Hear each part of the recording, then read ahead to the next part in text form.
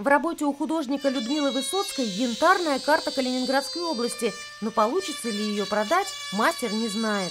Янтарь – это такой, так скажем, продукт, э, который, э, как пирожки, покупать не будут. А когда пришла пандемия, э, люди стали думать о хлебе да, насущном. Художников по янтарю в Калининградской области сотни. Из-за пандемии все они лишились заработка. Поддержка от государства им не положена. Такой категории ИП предпринимателей, кто не имеет работников, это понятно, что никакой нет помощи. Численность работников должна быть до 12 человек, а я работаю одна. Без дохода остались продавцы сувениров и украшений. В прошлые годы в летний сезон им и присесть было некогда. Сейчас дневная выручка, как правило, нулевая. Многие магазины после карантина не открылись вовсе. В помощи от государства продавцам отказано. Сфера торговли, пострадавшей от пандемии, не считается.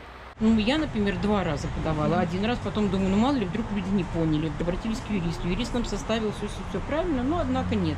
Компания «Сувениры Балтики» – один из самых крупных в регионе производителей янтарных изделий. В штате 36 человек.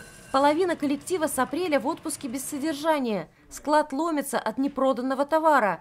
Обещанной президентом помощи компания тоже не получила. Налоги и аренду торговых площадей за период самоизоляции пришлось оплатить полностью. Получили договор за апрель, за май и за июнь заплатить аренду, за апрель, за май и июнь заплатить коммунальные платежи. Все попытки разъяснить, что мы же там не сидели, мы не работали, мы были закрыты, ну, ответ был один. Читайте постановление президента, это были каникулы. Помощь янтарщикам обещает правительство Калининградской области. Крупным предприятиям в виде стопроцентной оплаты аренды павильонов на отраслевых выставках, которые все еще планируются в этом году.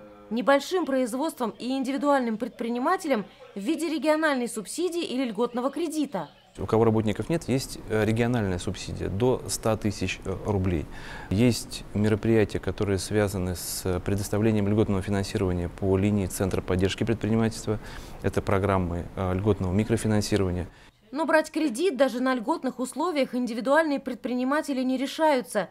Получить субсидию в 100 тысяч удалось единицам. Выход представителей отрасли видят только в том, чтобы их приравняли к туристической сфере, ведь янтарная промышленность работает в основном на гостей региона, а туризм правительство страны внесло в список пострадавших от пандемии отраслей. Жанна Мейлер, Наталья Красакова, Калининград, ОТР.